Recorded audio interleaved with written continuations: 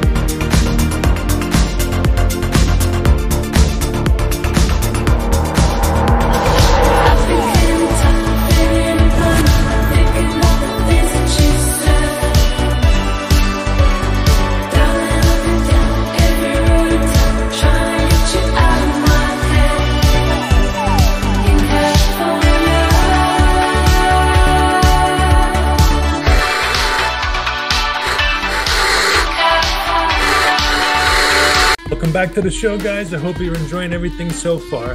Without further ado, let's check out the interview with Alpha Chrome Yayo. Holy shit, it's ACY. Guys, let me introduce today ACY, Alpha Chrome Yayo. Thank you for being on the show today. How are you? Hey, dude, thank you so much for having me. Uh, it's my total pleasure to be here. It's uh, warms my heart. Oh, thank you. Appreciate it. The, the pleasure is mine. This is really awesome to finally get to meet you, talk with you. I know we, I've been uh, following your music since 19th hole, I believe. when I first when I first started listening. Oh man, I love that. I know you're a huge supporter of not just my music, but music in general, and it, it means a lot to me, man. I, I appreciate that a lot. Ah, thank you, thank you. Um, so how would you describe your music to everybody? You know, it's a real tough one because when I first started putting out music as Alpha Chrome Yayo, like it was kind of more synthwave leaning, and you know, still, I still feel like I'm kind of of that world in some shape or form, you know. Um, but what I do isn't easy to classify. like sometimes it's kind of uh, kind of jazz fusion stuff, sometimes it's weird like body horror, almost black metal kind of stuff. Excuse me, I've got a horrible cold. Um, so I, yeah, it's tough for me to describe. Um, the phrase I've started using is far out exotic music because that kind of can mean anything but sounds kind of enticing. I hope. Um, so yeah, I have a tough time describing it, but far out seems about right. Uh, I always I like the word exotic. It sounds um, it time to get folds in elements from all sorts of places, and that's what I try to do the most. That's really awesome. I, I think one of the one of the gen- genres you mentioned was city pop, and I like that a lot. The kind of Oh yeah, well, I'm a big, big fan of city pop. Uh, I, I know you are too. I like anything I can take from that world um, and try and make my own. Um, it, it makes me very happy, and it's what I listen to a lot myself. You know, I mean, I listen to a lot of music, because I know you do too. Uh, but yeah, I'm a huge, huge fan of city pop, and uh, and especially with more, my more recent releases, um, I tend to delve into that world a little. that's awesome. That's really cool. So, um, how did you um, get into music? Like, was it at an early age, or it something you picked up later? Yeah, I mean, I kind of always played music in some shape or form. I mean, I had like piano lessons and stuff in school. Uh, actually, not in school, like uh, from a, a lovely, a lovely woman down the road my parents when I was really young. Um, but like, it was when my, my, my parents, who've always been, always have been, and continue to be huge supporters of what I do. They got me an electric guitar when I was like 11 years old, and that just blew my mind. I mean, even like just touching the strings and plugging this thing, thing in made there was amazing sound. Um, I tried to play like an acoustic guitar before. I was kind of shit on it. I just couldn't, I couldn't get it. Uh, but this thing made sense, uh, and that's when just um, like my musical world just exploded. I mean, one of my first memories ever is seeing Bill and Ted's Excellent Adventure. I used to watch that movie on repeat. I still watch it on repeat quite a bit. I always wanted to make sounds that sounded kind of like kind of like that. I don't know what I do does like that. I do have a cover out of, of like one of the big tracks that in time by Robbie Robb. I would say the most romantic song ever written, but I digress. Um, so I, I, started off wanting to make music like that, which I guess in hindsight, the Bill Ted soundtrack, I love it, but it's kind of almost like Z-list, like of hair metal ballads and stuff. I think that's awesome. I still think it's awesome. I thought it was cool then. I think it's cool now. Um, but obviously, the music I make is kind of slightly different. Um, when I first started doing Chrome Yayo stuff, like I, I originally got into synthesizers because I wanted to make um, like soundtracks to my own D and D games and stuff, uh, and then it felt like a kind of a natural evolution to sort of like investigate more synth-based music, and synthwave is a huge part of that and stuff. And synthesizers still are a large part of what I do. Um, I'm surrounded by them right now. I don't see them, but there's, there's shitloads of them all around me. Um, so. Uh, you know, I, I, I like music. I like making music on all sorts of instruments. Uh, I mean, some of them I'm not bad at. Some of them I am bad at. and I like all kinds of instruments. Um, I always have. Um, so yeah, I've always been interested in music. But I guess I started, you know, I started doing that from Yale a few years ago, and that's kind of snowballed and stuff. And it's now something I do. Um, like I, I make lots of like sort of commissions and soundtracky kind of stuff, and I do that under the name Alpha Chrome as well. So it started as something just for fun. It's still something I find extremely fun and I love it. I do it because I enjoy it. Um, but it's a huge part of my life now, and, and that's great. I wouldn't have it any other way. That's awesome. That's really cool. I I like how you came out with um, Dead Air, and that was, to me, anyway, that was like a big surprise. Like, oh my god, it's like a lot darker than I'm than I'm used to. Oh man, I uh, I had fun with that album. I mean, I, you know, I always kind of forget um, just exactly when things come out. So I'm going to open up my own Bandcamp here. when did I put that out? That was um, oh my god, yeah, quite a while ago. September September last year. So I guess I was probably getting in kind of Halloween spirit and stuff. But like, Yeah. I'm a spooky kid. I, I'm always in the Halloween spirit, man. You know, I I, I, I I live and breathe horror movies. And it was only a matter of time, I guess, before that kind of found its way into my music. I've had kind of slightly darker leaning stuff in the past. I had an album called Choke that came out in the first half of 2021. But with Dead Okay. Air, I just went all, all out, you know. Uh, it's just it's full of static and body horror and screams. Uh, I mean, I recorded, I recorded lots of it in here in my, my little home studio. Um, most of my releases don't have too much in the way of vocals, so I do have some soundproofing here, but uh, you know, it wasn't quite ready. My neighbors weren't ready for of screaming I was doing in this room. Uh, you know, I was streaking the walls, sounding about choking on blood and stuff. All the cool things. Um, so yeah, I'm, I'm really glad you like it, man. I, I love that album. I love the, the cool um, the artwork uh, by uh, Ats Delgado, a Cuban artist who, who I worked with on. Um, it's everything. I, I enjoyed making it so much. I mean, I find um, horror and stuff extremely fun. I think horror can be really therapeutic as well. I mean, I mentioned that I've kind of had a flu all week. It's why I'm maybe a bit croaky. I don't know if you hear it or not. No. But when I, when I get kind of unwell, I dive into horror movies. I spent all week just watching, just like um, watch a really good found footage kind of uh, Japanese one called Cult, which was really cool by the same dude, dude who did Noroi and stuff. Um, it's something I, I find horror exciting, but I also find it kind of soothing and cozy. I don't think I'm alone in that. You know, there's something amazing about horror that when you kind of immerse yourself in something kind of horrible, um, it's not a sad, schadenfreude thing. I'm not saying it makes me feel better about my world, but you know, it's it's there's something about it. There's just something really cozy and weirdly calming. Um, so I, I, I liked sort of putting out music uh, on Dead Air that was steeped in horror, but I kind of mixed it with sort of slightly kind of chill wavy stuff, and there's a few jazz tracks on it and things. Um, yeah, I just um, I, I like just finding weird, weird, weird wormholes and going down them. I know. I think it was awesome. It was really cool. I'm, I'm I, a heart, I, fan. I appreciate it.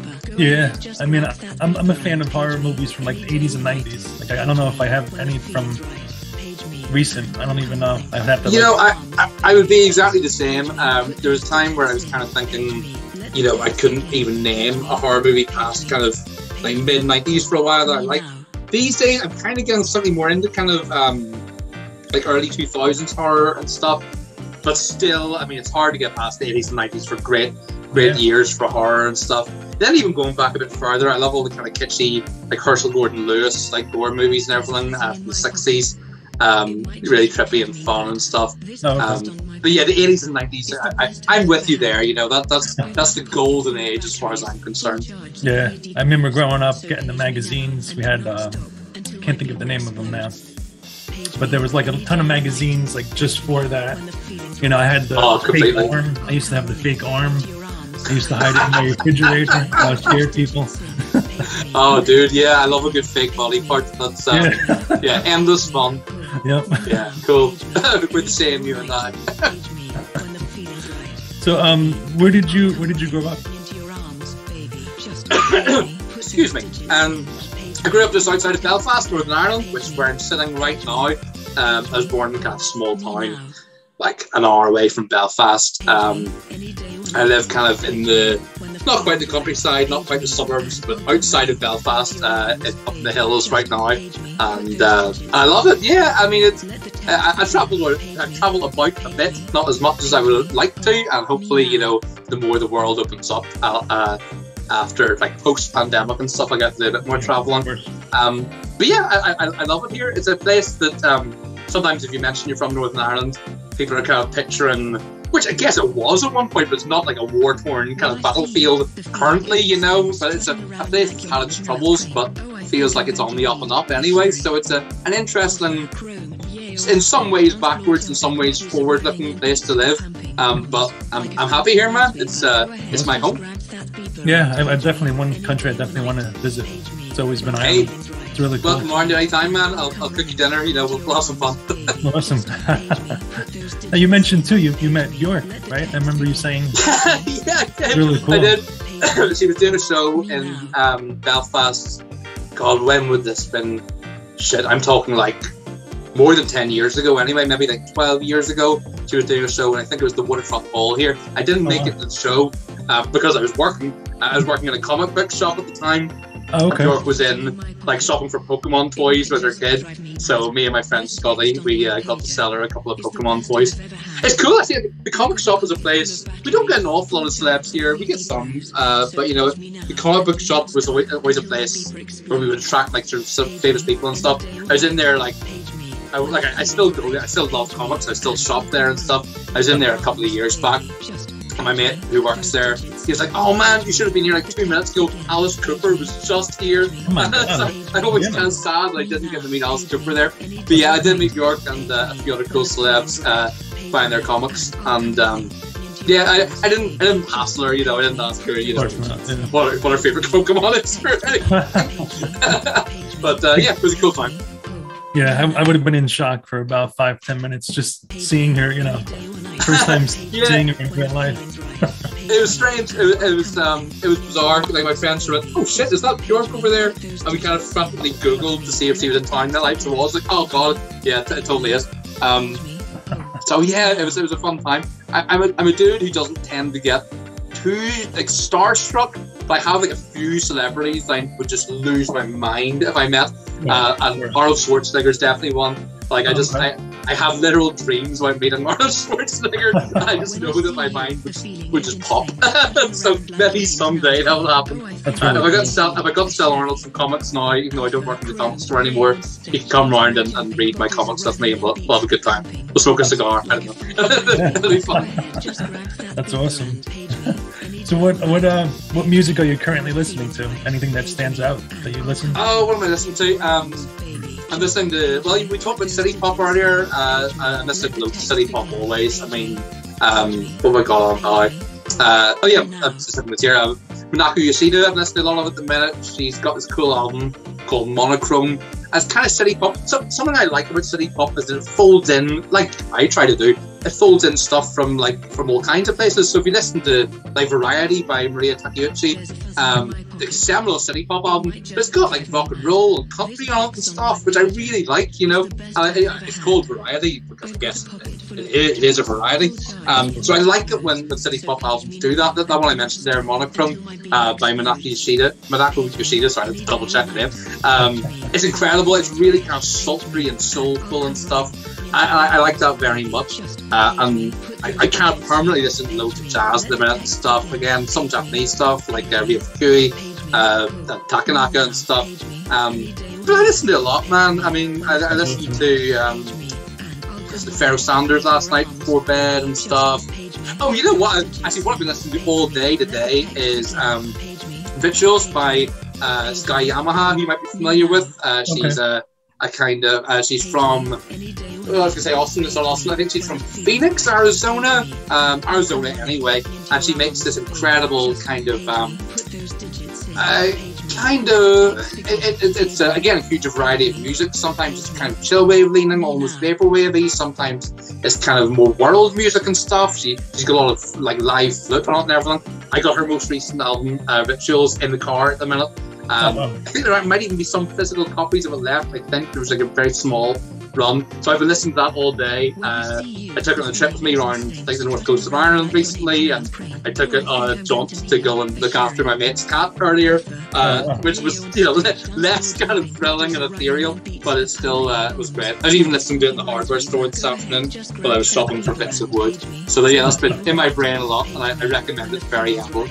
That's really cool. I think I met, uh, you mentioned that on uh, social media as well too. I think I remember. Yeah, yeah, I think I did. I think I did. Yeah. It's um, yeah, it's, it's a really cool album. Uh, everything this guy Yamaha does is, is incredible, and I recommend checking out her work very much. Uh, That's really cool. So I, I know you from um, Twitter. Um, what what other social media are you on platforms? you know, I'm, I'm mostly on Twitter. I killed off my Facebook a while back because I just didn't like it. Um, Yeah. Uh, I'm on Instagram. I don't really use it too much, um, but I'm on there. You know, uh, Twitter is kind of my social media home. I, I don't know. It feels like, um, you know, I guess my my, my online presence. I kind of like in my music. I like to be able to kind of have, talk about a variety of stuff. I like to talk about the music I'm doing and share bits of it. You know, I also like to post whatever I'm kind of decking around the kitchen and making food and just. Uh, Twitter seems to lend itself to kind of um, to post on whatever I want. You know, if you're on Instagram or whatever, I think kind of to have success on it. Um, I think you have to kind of almost have a niche, I guess. I mean, not that you really give a shit about success on social media, um, but uh, you know, it's nice when people enjoy the things that you share. Um, I, I think Twitter gives me the best kind of place to do that. Um, a lot of people tell me to join TikTok. Um, I make a lot of videos and I share videos and stuff. I know it's like a, a video heavy platform. I don't know. My wife told me if I do that, like it's, it's creepy. It's a place like it's just full of like in her in her mind like it's just it's for teenagers only. Uh, so I don't know if that's right or not. I, I don't know if I'm too old for TikTok. Um, but I'm maybe I'll check out. I don't know. But yeah, if people can check me out on Twitter, that's probably the best place to get a look inside my brain. Yeah, I have to agree with the social. It's definitely out of hand. Like I can't. I try to you know, do what I can on where I can, but it's, it's definitely too much. It's a lot, man. It's, it's a lot. I enjoy, I enjoy Twitter. That's why I post on Twitter and, I like it. You know, um, I wouldn't post stuff if I didn't like it. Yep. Facebook didn't like it, killed it. Instagram, eh, it's okay, but I just, you know, Twitter feels more homely to me. I, I agree. I'm, I'm the same way. Definitely. So your music is on Bandcamp. Uh, Um, what what other uh, platforms? I mean, it's on all the big ones. It's on sort of Spotify and Apple and, and, and what have you. But Bandcamp is always kind of my musical home. Um, I mean, uh, as you know yourself, it's such a great place to support artists, and, and they get a, we, I should say, as artists, or so that sounds like an asshole thing to say. We, as artists, people who make music and release it on Bandcamp, get a far better kind of deal. Basically, if anyone decides to support it by buying music on there, like good self, uh, uh, it's very, very much appreciated. So to try and kind of um, as a small thank you at my end, I always try to include extra stuff on Bandcamp that you can't get anywhere else. So I include like extra artwork and liner notes and extra tracks. I've got like weird podcasts on there and stuff. I've got like a I've got like a cookery themed album which you can listen to on Spotify, but if you get it on Bandcamp, you get like a, a legit PDF recipe book of recipes by me and my family. Um, so it, yeah, it's definitely but again, it's my musical home, and it's a great place that, um, like Twitter, I guess. It's, it's nice that I can talk to people who like my music through there, but they can also talk to me, and it's cool. It feels like there's a bit of more community there, and um, uh, it's great. I just I just like being able to kind of be in touch with people who dig what I do, and to in some way kind of you know thank people for their very generous support, which is always appreciated. Um, so yeah, uh, Bandcamp uh, is is the best place to check me and the buying music always. Awesome. I remember the um, the performance you had on there too, the live event. Oh yeah, of course. Oh man, well thank you so much for for, for, for being there. Um, the um, yeah, I totally forgot. There's a whole thing that again, you know, you could fold in my live live stream shows there and sell merch and stuff. Doing the live stream show there, Black Tie Blowout, last year, la- about this time last year, I think. Um, uh, it was so much fun. You know, I, I did it from this little studio here, like with a green screen. Um, and you know, it, it might seem dorky to say that was one of the most fun nights of my entire life. You know, dressed up in the tops, doing this ridiculous live show. I just having a blast uh, because just you know.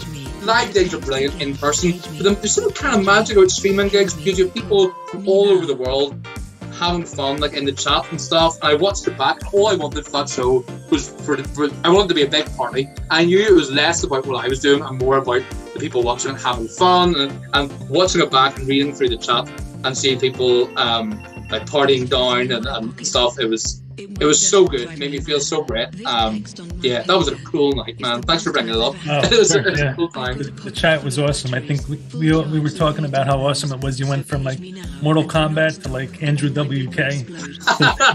Two of my favorites right there. Yeah. Oh, dude, I was obsessed with Andrew WK, like in school. Um, I met Andrew WK a few times since then. Um, yeah, actually, I got a bit starstruck meeting Andrew WK because I, 'cause I, I was obsessed with him in school. I think I like, uh, uh, I invited him around to my house to play Dungeons and Dragons, which didn't happen. He did say maybe in the future. yeah, that Andrew WK is a cool guy. Um, yeah, he's a good dude. That's really cool. So, um, before we wrap up, um, do you have anything else planned for the rest of 2022? Yeah, I mean, I usually release multiple albums every year and have done since I kind of started. At the minute, I haven't really put much out in the past few months. It's because I'm busy doing a lot of kind of behind the scenes stuff. So I am working on the next Alpha Chrome Yayo album. Um, uh, there'll be more to share on that soon. Like it's partly finished, but there's more stuff to do. And uh, I've, I've got this really cool artist, uh, Amanda Ray, who's worked, uh, completed the artwork for it, which is gorgeous, uh, and I'm so excited about releasing it. Um, but I have other stuff going on too. I'm doing, I'm working on a lot more kind of commissioning stuff at the minute, doing kind of soundtracks for radio shows and podcasts and things. But something I'm so excited about is that I am currently working on uh, more than one video game soundtrack. There's one particular soundtrack that I'm I'm very heavily involved with. Uh, I can't really talk about it anymore because I've signed like uh, all kinds of NDAs and stuff. Of course, of course. I cannot wait to talk more about it though. I am beyond excited about it. It's with just a really cool company. It's the game is it feels like it was made just for me. Even though I know obviously it's not. Uh, I think it will have mass appeal, but it is something that really appeals to all of my interests. I'm so excited to be involved with it. Um, uh, yeah, dude, I'll, I'll, tell you more about it as soon as I can. Um, of course, I'm, awesome. Very excited. So really hopefully in the next few months I can spill a bit more. I can spill more tea about that in a few months. Awesome, very cool. Um, again, thank you. I appreciate you being on the show. Uh, Hey, thanks for having me, man. Of course, we'll definitely do it. Uh, do it again in the future as well too. Dude, my pleasure. And thanks to anyone who's checked this out. You're the best. He's got a French martini in a long stem glass. Maraschino cherry for that touch of class. Wish I could take my eyes off that ass, but I can't. He pulls a thick cohiba from his inside pocket. Matches and cutter, you know he's got it. Synthesizer and a silk bow tie. Holy shit, it's ACY. Page me, any day or night. Page me, when the feeling's right. Page me, and I'll come running into your arms, baby. Just page me, put those digits in. Page me, let the text begin. Page me, page me,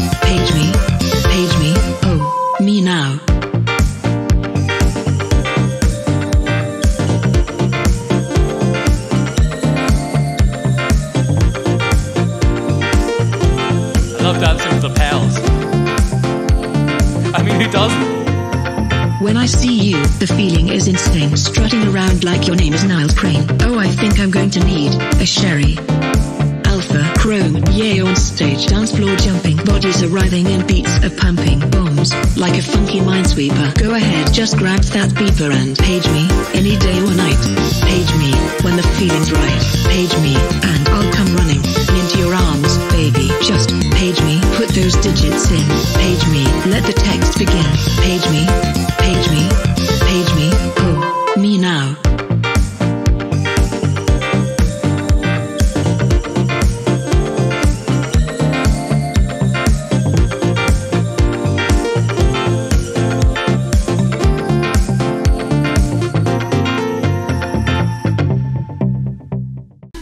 Just want to say a big thank you to ACY for that awesome interview and taking the time to be on the show. Also, don't forget to check out his new album, Private Garden, on Bandcamp that just recently came out. Next up, let's check out some new music videos, followed by an interview with Ashurei.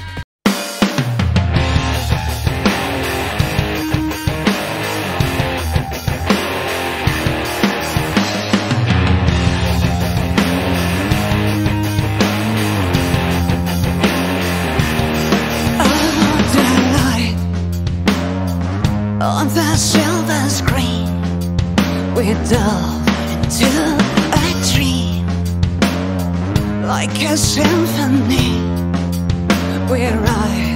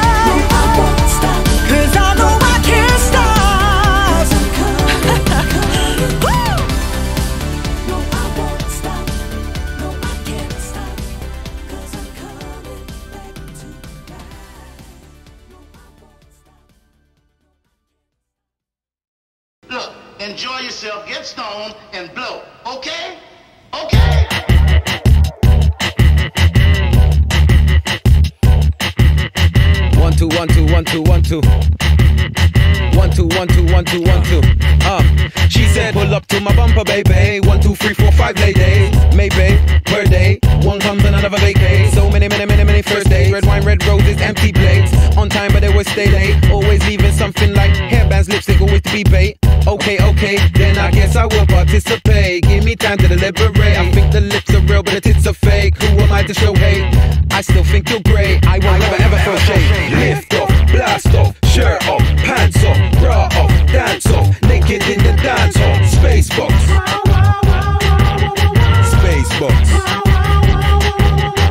Lift off, blast off, shirt off, pants off, bra off, dance off, naked in the dance hall. Space box.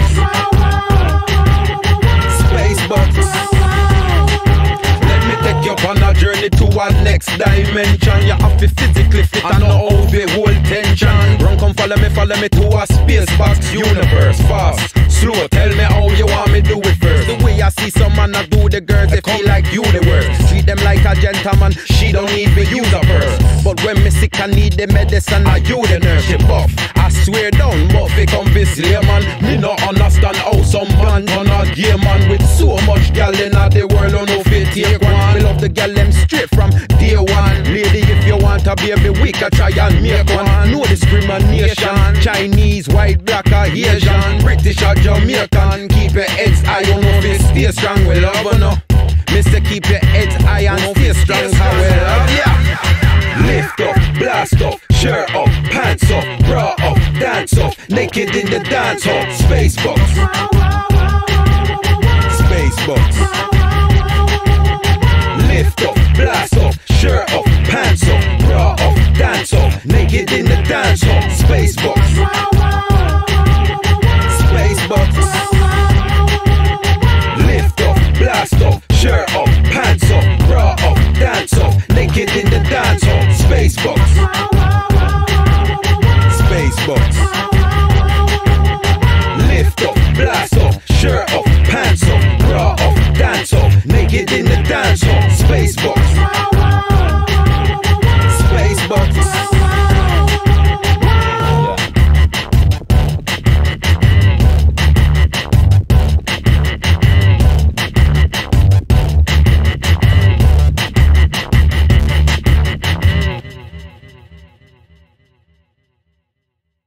guys, with me today, I have Ashurei.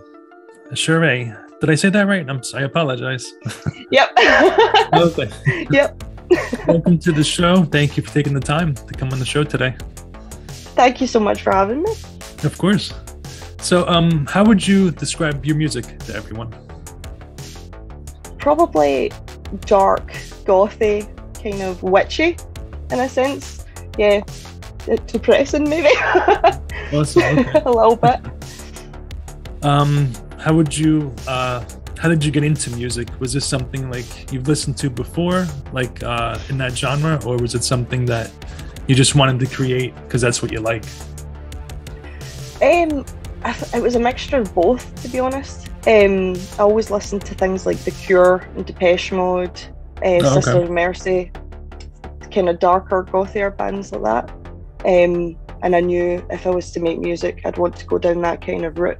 But I was always hooked on synths and keyboards, so I wanted to kind of make a mesh of those. To be honest, a goth kind of synthy type thing, Awesome. pretty much. No, it's So- really cool. yeah, that's pretty much just the cure, just a lot of the cure. Oh, okay, I see. So a lot of um, the music I, I listened to of yours was from Quelle Horreur. I hope I said that, pronounced that right. Um, so that that's around the same genre, I believe, right? Around the Mhm. same. Okay. yeah, And you were the the vocalist on that, or you also produced the music, came out with the music? um, a bit of both. Although my friend does more of the production on that, um, so it's a bit cheerier than my solo stuff Oh, okay. because he listens to a lot more kind of pop punk things like that. Gotcha. Um, so we tried to interpret both of our music tastes, which are very different, into that, and that's what we came up with, pretty much. oh, that's awesome. That's really cool. So, um, where where did you grow up? Um, I was around the Glasgow area in Scotland, Oh, okay. um, and now I live in a nice little coastal town in Scotland, nice and quiet. Oh, that's awesome. I could tell you have a the accent. Oh, that's what I always have to ask. Yeah. Mhm. So, um, you just came out with Artificial Anxiety, I believe, on May 5th, I believe, right? Yep. Yep. What, what was it like? Um, and that, that's your solo project, I Mm-hmm. believe. Okay. What was it like coming out with that? Like, what was the creative process like?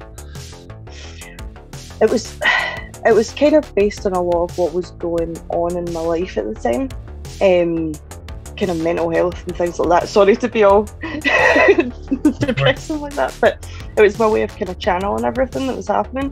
Mhm. Um, so I'd come home and just bash out a song, um, and then get it all out, just kind of let it all flood out of me. Um, and it was really cathartic. It was a really cathartic experience to make it.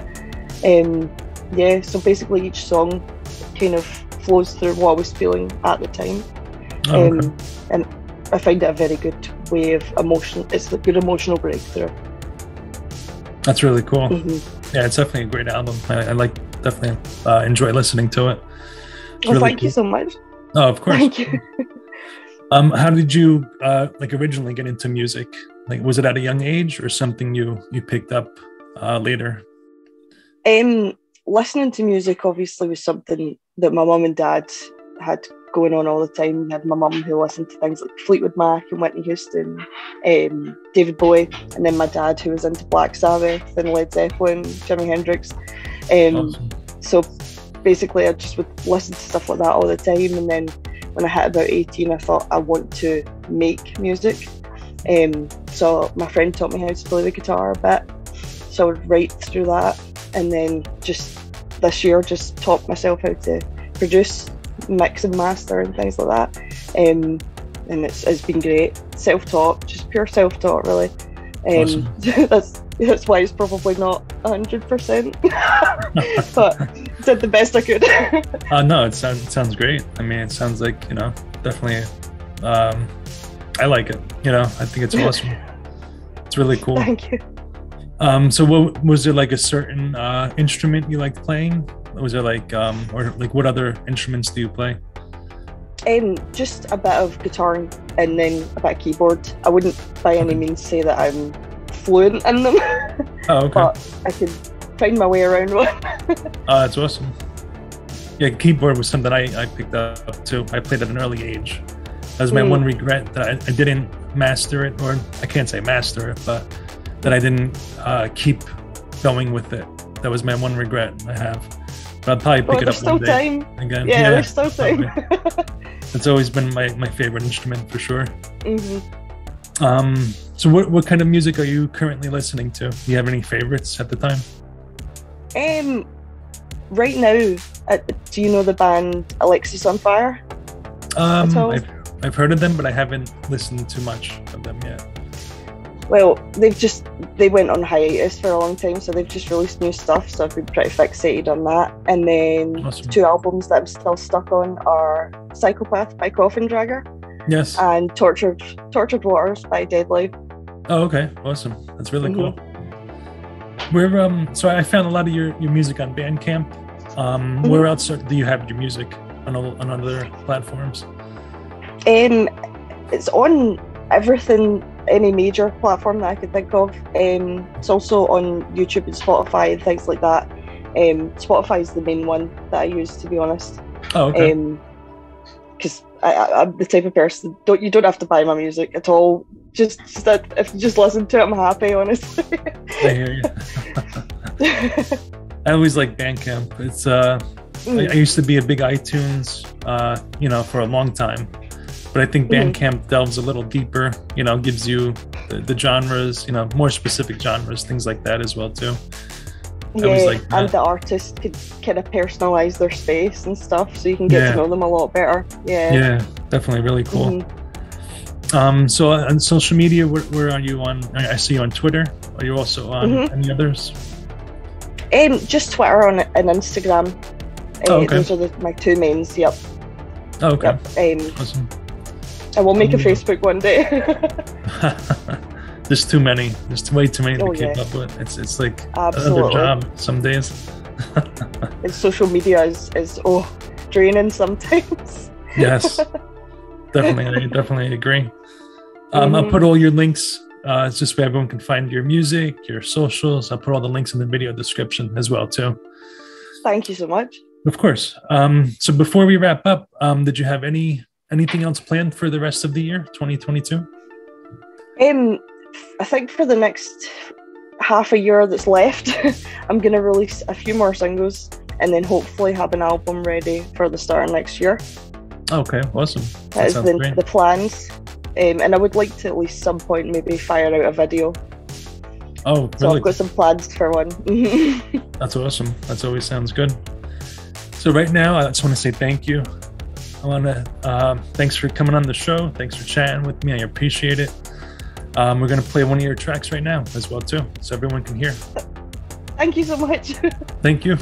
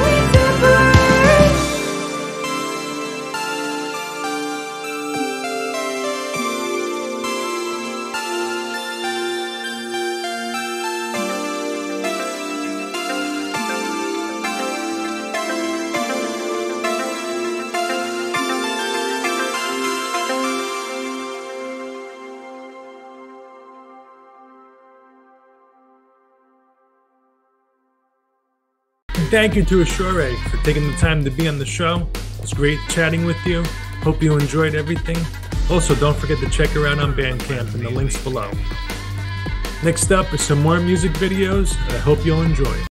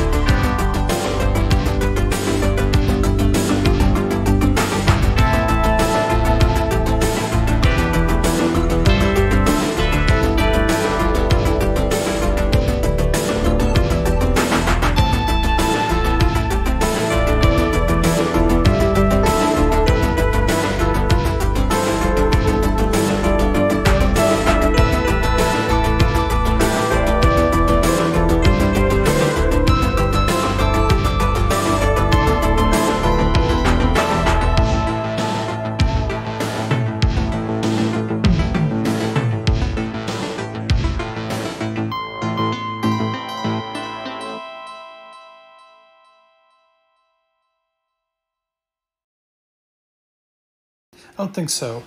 If you could get me those TPS reports today, that'd be great. Well, why are you dressed like that? It's Rococo Friday. Oh, I forgot. Okay. I'll be right back.